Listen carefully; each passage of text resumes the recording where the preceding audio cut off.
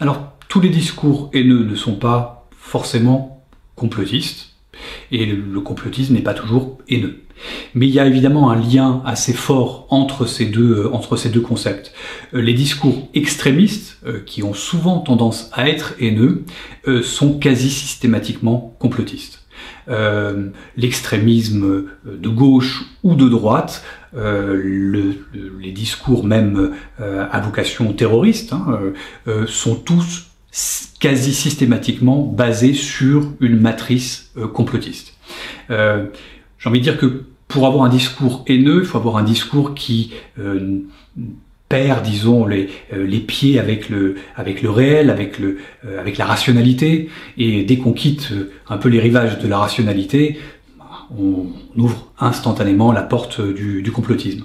Donc le complotisme est aussi une arme assez systématiquement utilisée euh, pour euh, s'attaquer à des populations, euh, pourquoi pas des migrants ou des minorités, pourquoi pas les juifs. Et évidemment, le discours haineux qu'on va essayer de, de promouvoir repose systématiquement sur des choses qui sont fausses, sur des informations qui ne sont pas sourcées, sur des détournements de, de, de vérité. donc on qu'on le veuille ou non, la matrice, j'ai envie de dire, de quasiment tout discours de haine repose sur une mécanique, qu'on le veuille ou non, euh, plus ou moins complotiste.